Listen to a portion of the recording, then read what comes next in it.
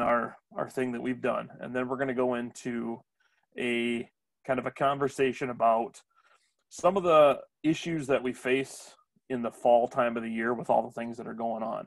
So we're just going to kind of refresh and talk about talk about that stuff. Uh, there is an hour's worth of time for this. If you uh, have not signed up on on the uh, EMS portal, go ahead and do that. Um, I'll be marking you guys complete when we're done. So first off,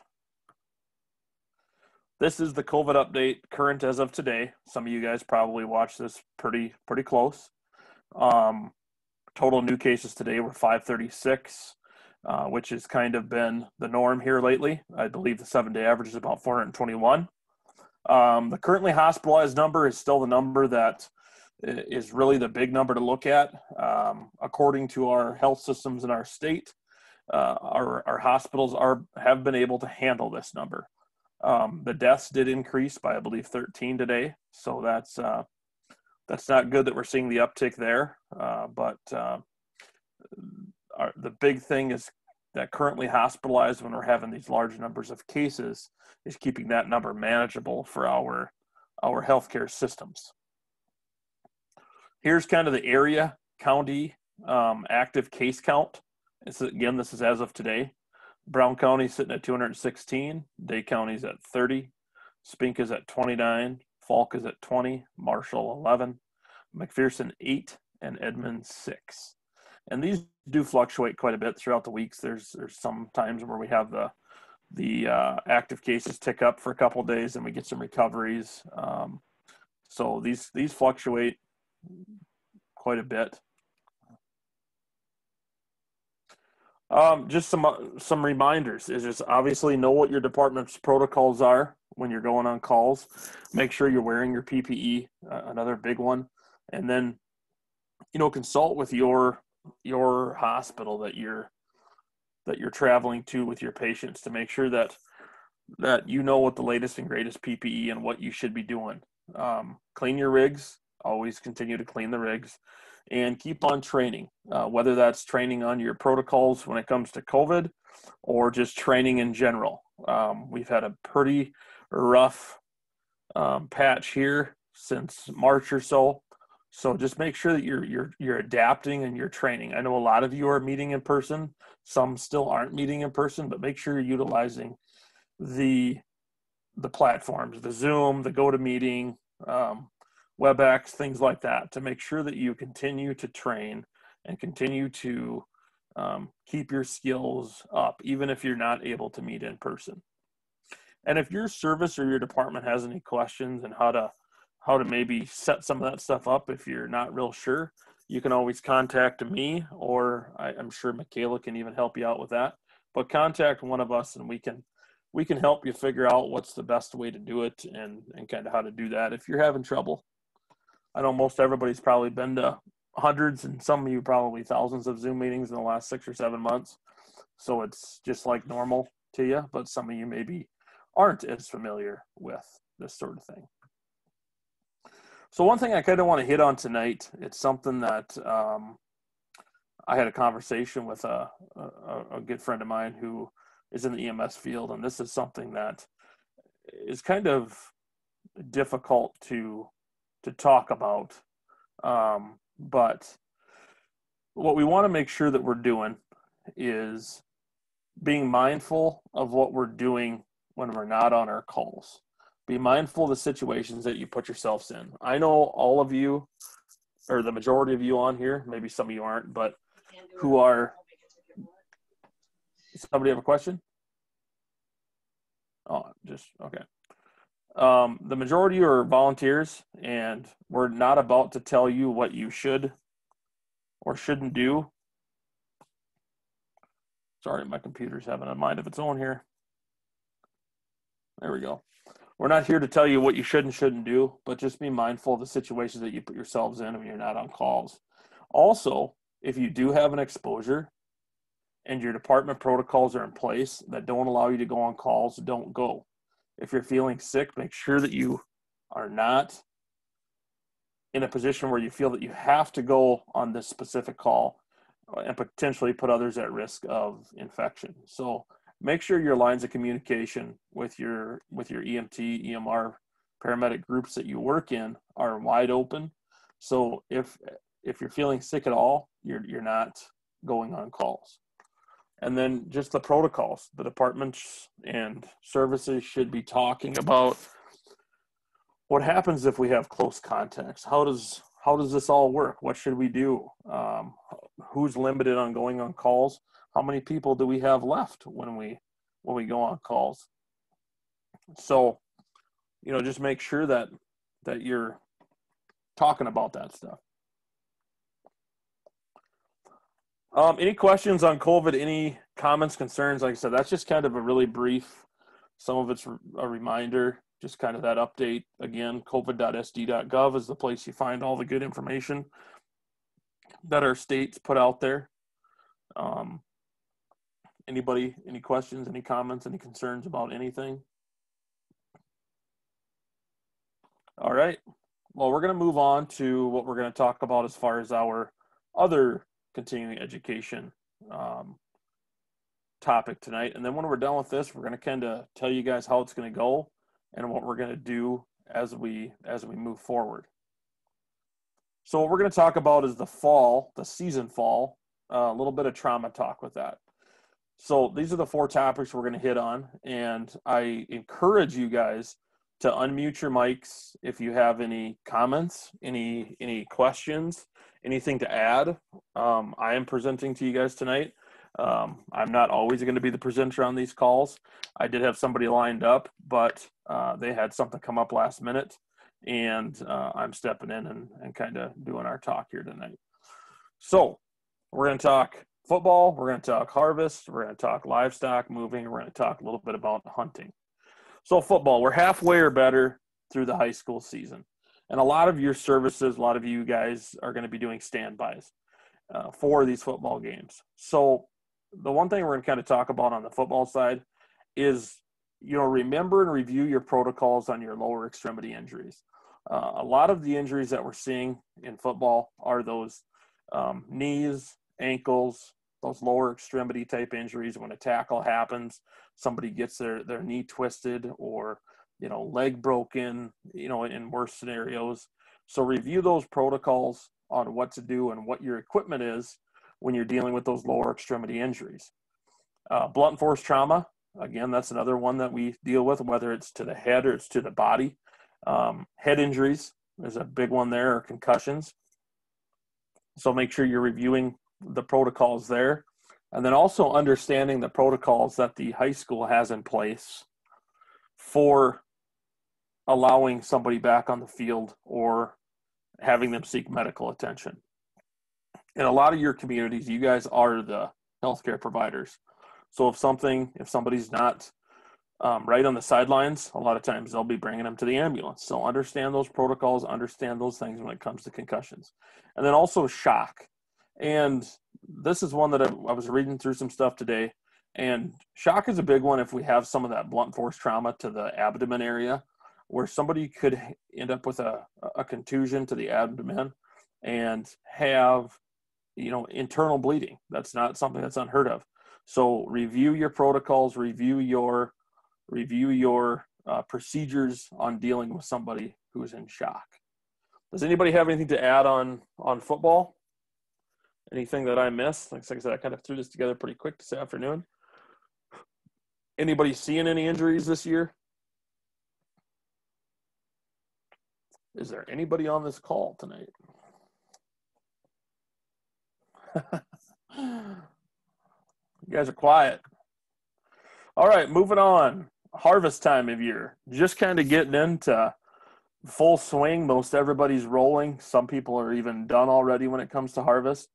So lots of moving parts, and you can construe that in a lot of different ways. The equipment that we're using has lots of moving parts, and there's also lots of moving parts that go into harvest. There, this year is obviously a little bit different than last year. Um, on the better side of things, uh, we we did end up with long spells without rain, but for the most part, the things that I'm hearing, the the crops are coming in relatively good. Um, The thing that we don't have our backs against the wall with, like we did last year, is the weather. So that has, I think, been a nice um, change.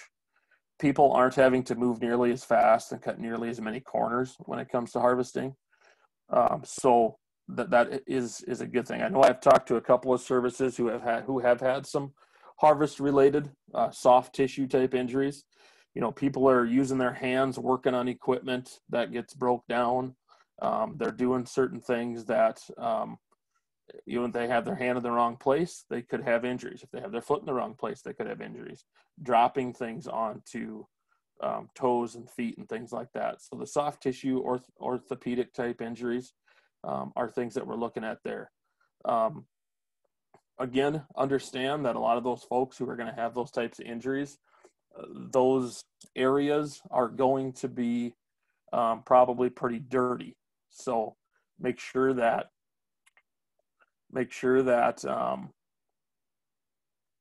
that we are cleaning those out as best as we can, wrapping them up, understanding what actually happened, so we can relay that on to the doctor, so they can make sure that they are cleaning those wounds out uh, the best that they can to prevent the infections. Uh, falls from heights. Uh, we have people that are working on top of bins potentially, on top of trucks, tarping trucks, on top of grain carts doing doing uh, preventative maintenance stuff or working on parts that might not be working. Uh, we're we're seeing people crawling in and out of combines. Combines are a little bit higher than our normal our normal agricultural um, equipment.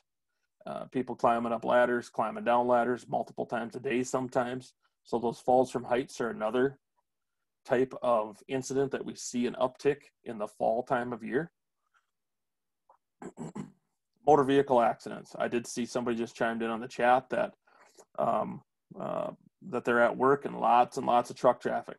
This time of year, um, I got some some percentages from the highway patrol and the truck traffic locally, local truck traffic increases anywhere from 50 to 60 percent this time of year because what we have going is we have harvest going with all the semis on the road transporting the transporting the finished product product to elevators to um, places of sale ethanol plants things like that. But as we're going to talk about here in a little bit is this is also prime time season for cattle to be moving on the highways. So the number of grain trucks and the number of cattle trucks that are out there on the highways increase drastically over these end of September through mid November. Um, so again, those motor vehicle accidents, slower moving equipment on the highway. I was on Highway 12 one of these days this last week here. I don't remember which day it was, but there was a combine going down the road, which I totally understand. They have to use those roads to go from field to field, but there was a string of about 15 cars behind it. So that road, everybody knows that that, that highway is is sometimes difficult to pass, even um, when there's not slow moving equipment on it. So just be alert for that stuff, and then also when you do get called to those accidents, because there are upticks in accidents as well this time of year, is make sure that you have enough people on those calls. Because if we're out on the highway and we have a, a, a truck accident or we have uh, an accident with a slower moving vehicle, there tends to be more people involved in it. And not necessarily that they need medical attention but there's more people that are stopping. There's more there's more chaos in my opinion on some of these scenes because we do have traffic backed up like we do and we do have more people out there. So make sure you guys have enough people going on those calls to where we can control the scene and um, help those people who are injured Um, again, with harvest, make sure you're training with your with your fire department. You're having those conversations on their rescue capabilities. When you take a jaws of life piece of equipment and start working with it in the agricultural setting, it behaves a lot different than when you're trying to cut a car apart. So, strongly encourage you guys to talk with your FDs either this year or into the future and understand what their rescue capabilities are going to be on some of that heavier built, stronger built farm equipment.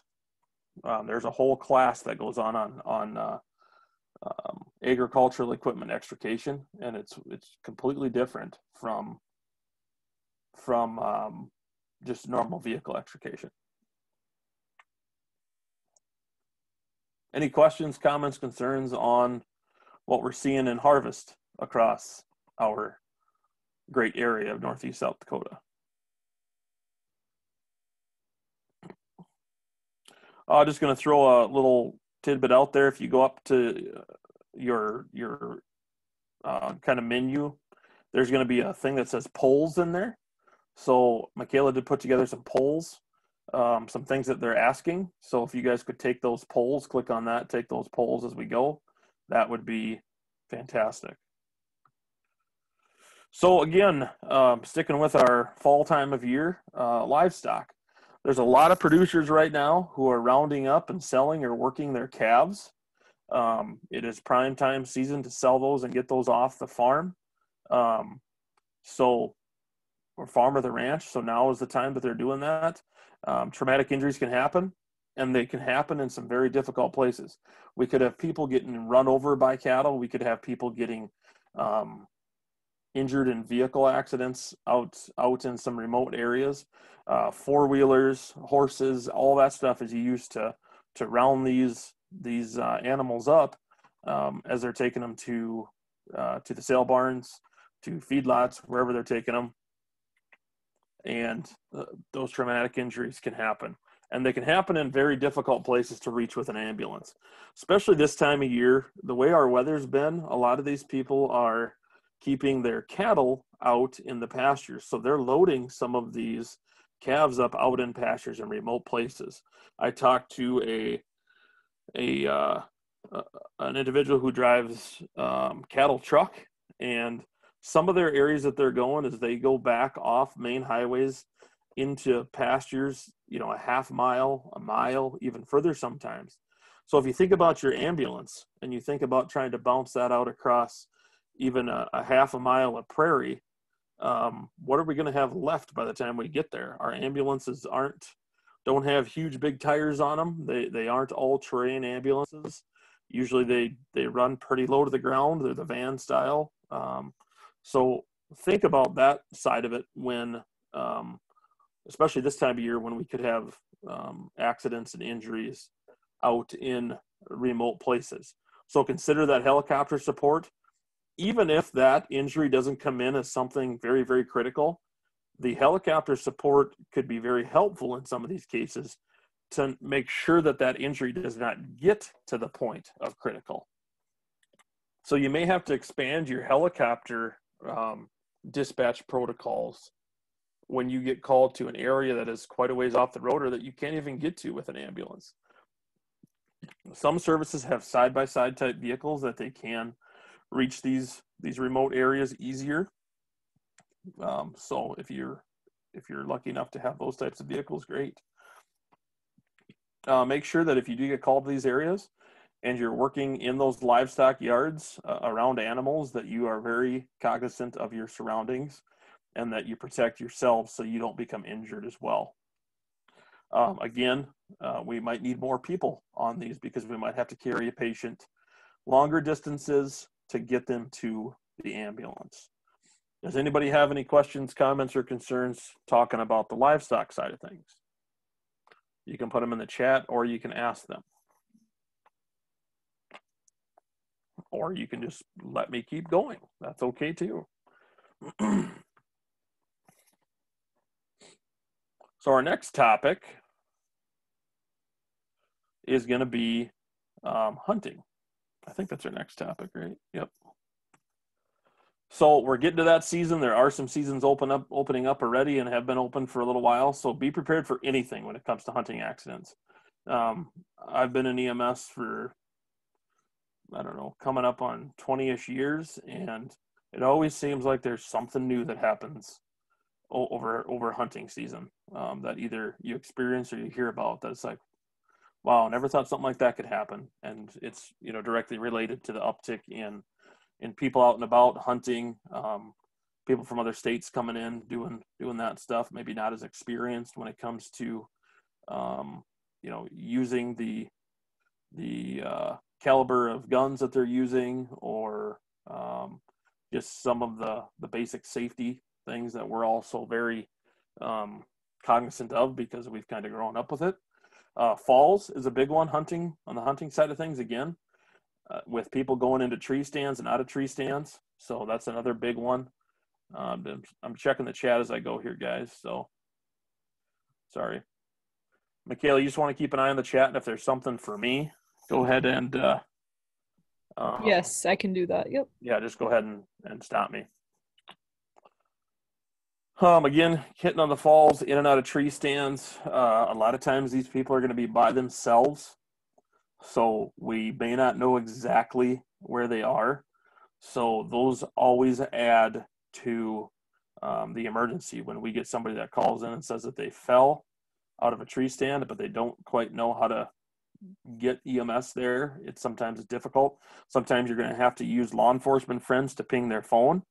Um, and if you're unfamiliar with that, talk to your local sheriff's department and understand how that works in your in your jurisdiction. It's gotten a lot easier and a lot faster over the years. So um, you know, understand if you have to do something like that, um, how it works. Accidental shootings, whether it is it is BBs from shotguns or it is um, high-powered rifles, we see a handful of those across our state every year. Uh, some years are more than others. I have a feeling, and I don't know this for sure, and nobody's really said this for sure, but I think that we're going to have probably either a near normal or even above normal uh, hunting season. And for some of the reasons is there's going to be a lot of soybean and corn that's out of the fields. So I think pheasant hunting is going to be phenomenal in our state this year. And I think with the ability to do this stuff outside and the ability to to have other folks from these other states who are maybe still locked down a little bit uh, to come in and kind of be a little bit have a little more freedom, I think we're going to see an uptick in in uh, hunting uh, this year. Vehicle accident, we always see upticks in vehicle accidents during hunting season, and usually those tend to be um, more the MCI type of accidents where we have maybe more than two, three, four, five people involved because they're they're taking their vehicles from one hunting area to the other. Um, a lot of times, these people, these groups that are that are hunting on um, preserves or guide services, they'll be in a, a bus, either a, a, small bus or a larger bus, and um, the the uh, the possibility of having uh, an MCI type of an accident uh, does escalate with these types of vehicles out on on the roads. Um, also, if you have you know out of state type hunters, and I'm I'm glad that they come to our state, they give us a lot of money, but sometimes they're not real familiar with either traffic laws, they're not familiar with road conditions, they're not familiar with you know, Joe's Road having a culvert washed out from the heavy rain that we had early this year that has not been fixed yet. They don't understand that that road is has a and, and in some of our counties we have like two cones set up and everybody knows that Joe's Road's washed out so we don't go down that. But some of these people that are coming in from other areas, other states, they don't know that. So they might be going down those roads and hitting those washouts and becoming injured. So uh, be aware of those things strains and sprains. We have people walking in fields. We have people doing things uh, out on the prairies where they could step in holes. They could um, roll their ankles, strain or sprain um, lower extremities to where they're maybe unable to walk. And we're going to be called to help them out. And then cardiac related emergencies. For the most part, a lot of us have probably spent a little bit more time at home this year um, gyms were closed for a while, uh, so hopefully everybody stayed in great shape. But I think this year more than others is maybe some of these folks that are hitting the fields maybe aren't in the best, better shape or the best shape that they've been in uh, due to some of the differences that we've had this year. So cardiac related emergencies, always be cognizant of those. Uh, usually we see a handful of those in our area uh, every every hunting season where people are out walking the fields and uh, they're not used to that strenuous activity and they end up maybe having chest pains later that night or um, maybe even go into cardiac arrest out in the field. So um, be aware of that and um, you know be cognizant of of those things. Anybody have any questions, comments, concerns on any of these topics that we've talked about? Anything to add?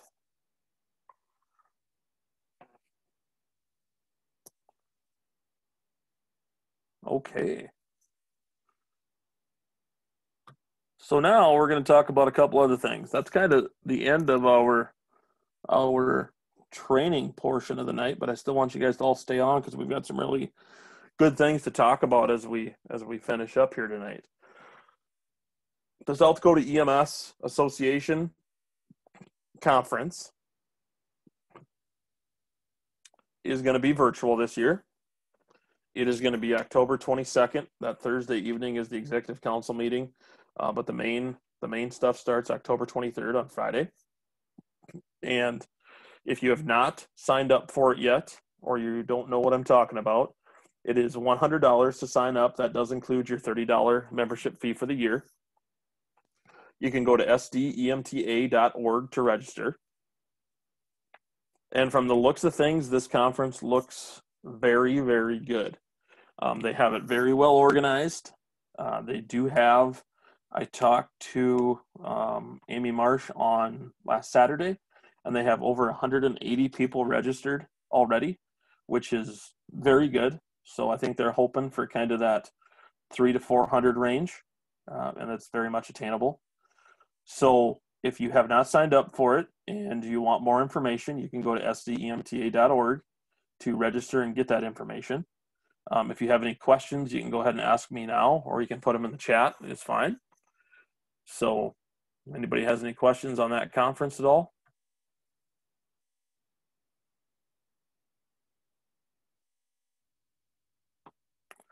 Hearing none, we'll continue to move on.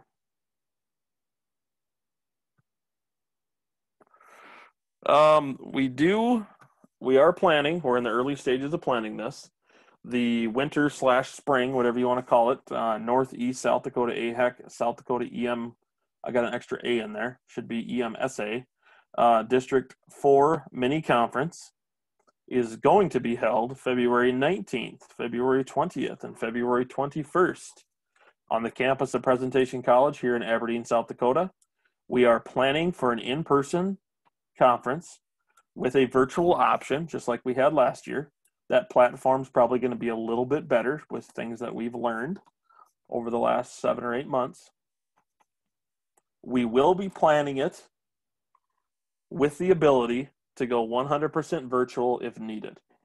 So we've kind of set a date and we've been in contact with our friends at Presentation on what they're going to allow based on what we can do. So when they give us the either the okay that we can still plan for an in person, or if they say no, we're not going to allow people on our campus, which we totally understand due to the situation. Um, we will be sure to let you guys all know which route we're going to go. But as of now, as of today, we are planning for in person with the vir- virtual option. Uh, more info to come on this as we get closer, but just remember those dates, jot those down um, to make plans to be in Aberdeen or to log in virtually. Um, some of the things that we did last year uh, with the people that were logged in virtually, they could not do a lot of the practicals. So we did give them some other options so they were able to get their 20 hours. But this year, I think if we are able to have at least a partial group in person, um, we're going to be able to allow those virtual folks an opportunity to take part in some of the hands-on training that we're going to be offering.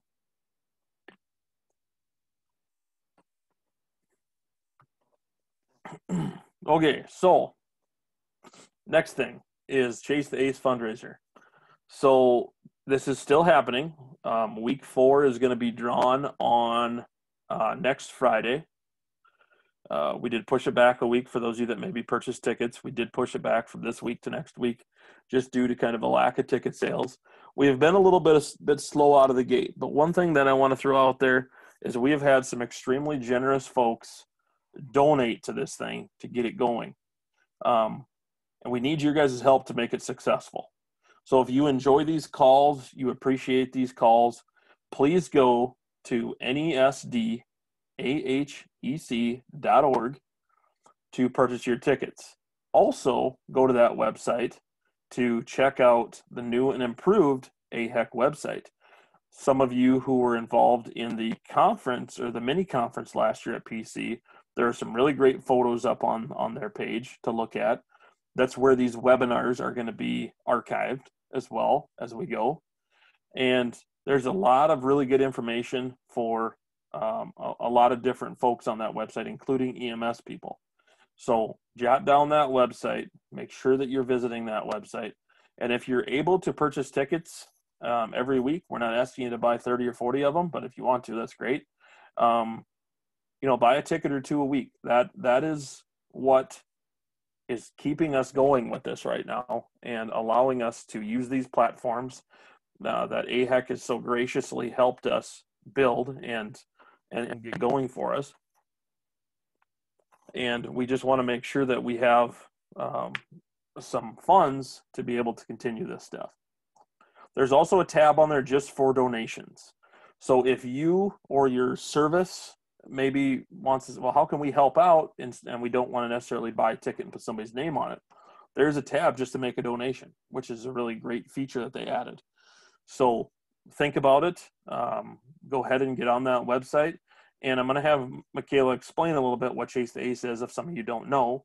Um, but also remember that our group can, the more money that our group can raise, the more training, the more services, the more scholarships, and the more grants that this can provide for departments and for EMTs in our district. The ultimate goal on this fundraiser is to get some dollars in the bank to where we can offer these up as scholarships and grants to services and EMTs who are, are trying to, or future EMTs who are trying to either get classes going in their area to help defray some of their expenses, and then also to EMT students who maybe don't have the ability to to reserve a spot in an EMT class just based on the dollars. We don't want people to have to not go to EMT class because they can't afford it. That's something we really want to take away from our area up here and potentially all the way across the state. So if you're able to, or your service is able to um, make a donation, we would greatly appreciate that. Michaela, you want to talk a little bit about Chase the Ace? Um, yeah, I can. If you want to stop sharing, I can pull up the website and I'll kind of walk it through on how to get there and everything through that as well. How How about I do my? I think I have one slide left. I'll do that and then we'll go back to that. Sound good? Perfect. Yep, sounds good. Okay, so our next meeting is going to be October 29th. So two weeks from today, I believe that is two or three weeks from today.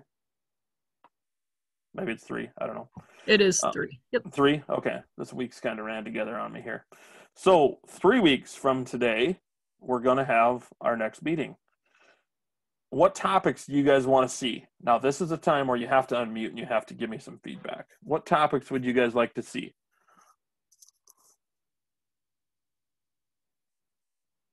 So that it says mute, and if you have a, a, a red line across it, you can take that off and then you can talk. Okay, guys, please. Need a little bit of help on this one. This is Nancy.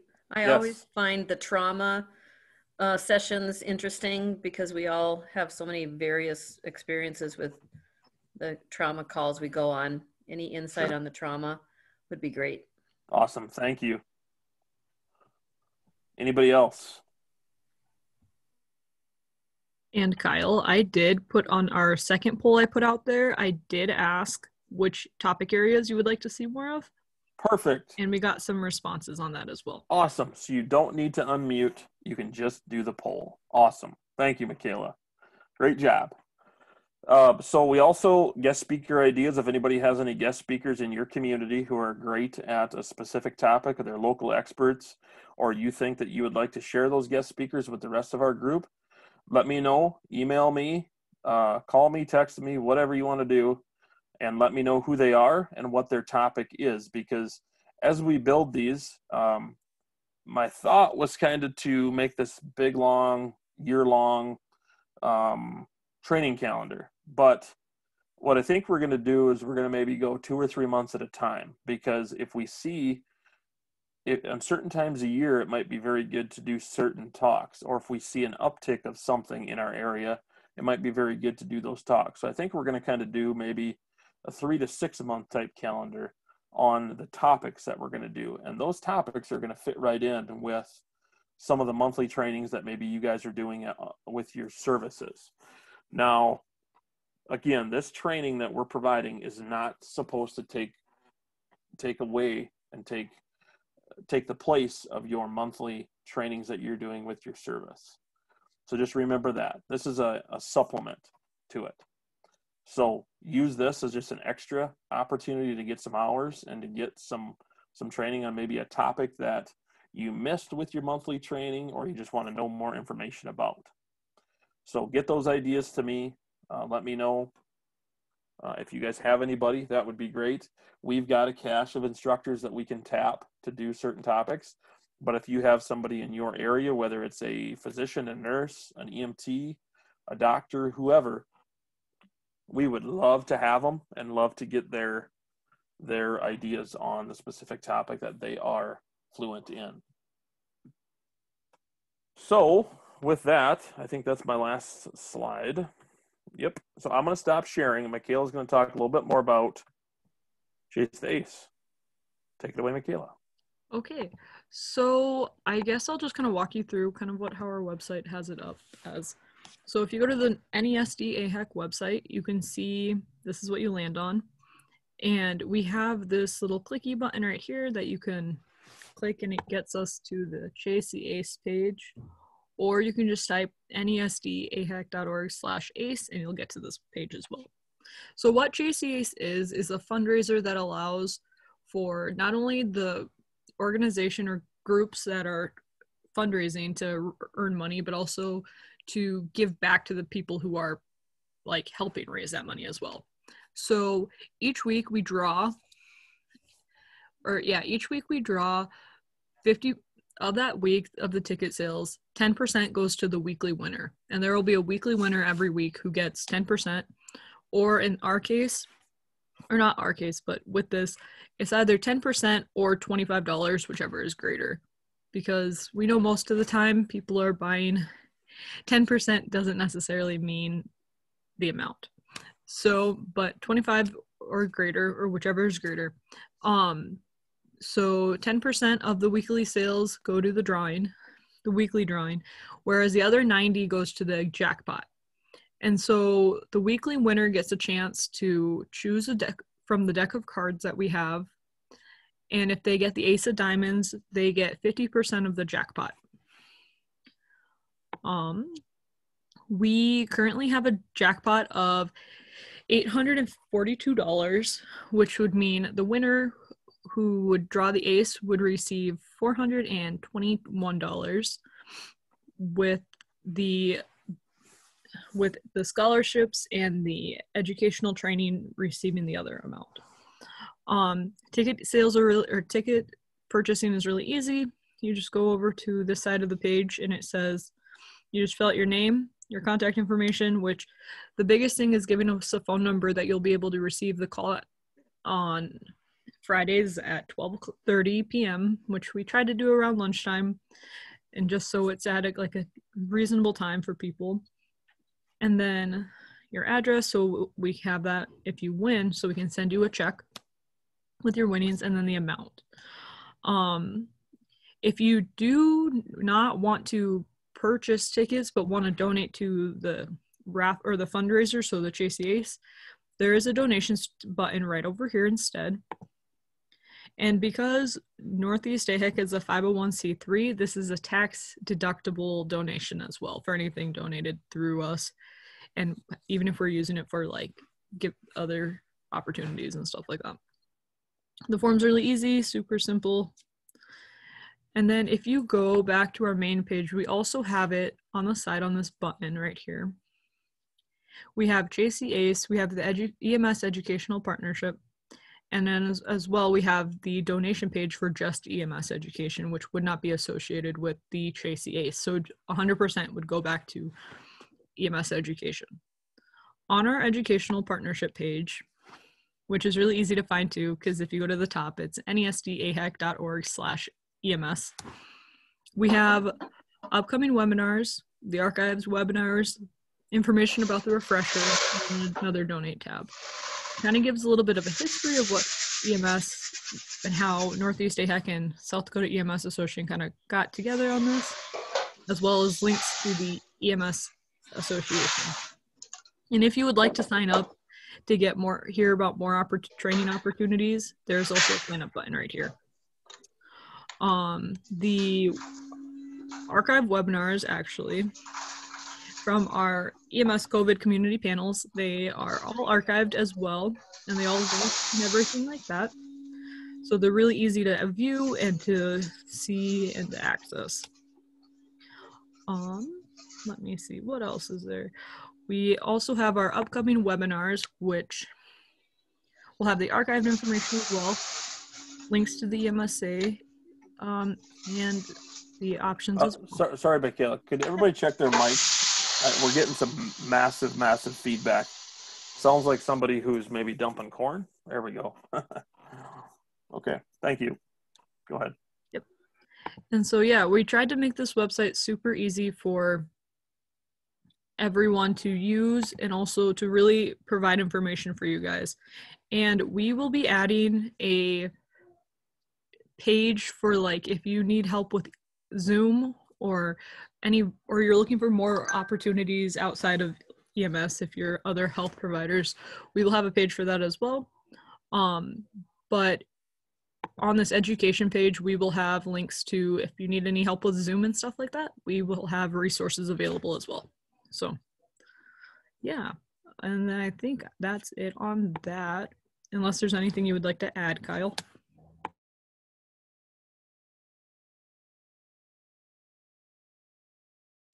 I was muted. Sorry. Um, we did have a question on the chat about um, a basic amount. It is five dollars per ticket, and the thing with the tickets is they do get um, taken out each week, so you have to get back in it. It's kind of how these work. Some of you have dealt with these before, and um, there's a few of them going on in our area right now. But use ours. Go to ours. Mm-hmm. we like ours. Um, to answer some questions in the chat, yep, we are actually for the webinar or for the spring training, we'll look to get speakers like how we did last year, but we also will kind of include Lake Area Tech as well on speakers because they have a really good program that we could pull from. And I see that there's a couple of ladies from Watertown who talk about suicide. That would be pretty good too. So, yeah, That'd be great. If we can get their names and contact info, that would be fantastic. All right. Do we have anybody else have anything for this evening?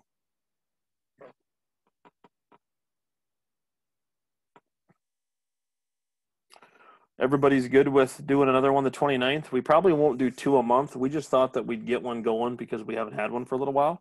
So we thought we'd do this one and then we'll do that do that one on the 29th and then that's going to kind of be the excuse me that's going to kind of be the the theme is we're going to go that last thursday of the month. And we're open to changes too if there's something that pops up that we can't go the last thursday that's totally fine. Um, so. Anybody else? Anything at all